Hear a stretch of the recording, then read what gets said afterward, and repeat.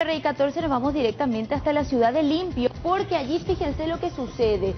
Sobre la ruta 3 hay una empresa hasta donde llegan muchos camioneros para descargar eh, importantes cargamentos desde diferentes puntos del país.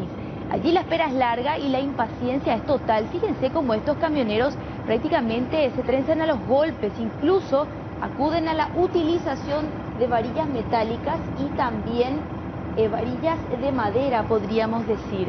Esto podría acabar realmente mal si no existe un nivel de tolerancia y un nivel de paciencia que se requiere para este tipo de actividades que son realmente largas. Habría que ver qué otros eh, detalles, qué otras circunstancias hacen que este contexto sea aún más violento. Esto sucedía sobre la ruta 3, reiteramos, en la ciudad de Limpio. Intolerancia entre camioneros que aguardan para descargar sus respectivos vehículos. Y ahora vamos directamente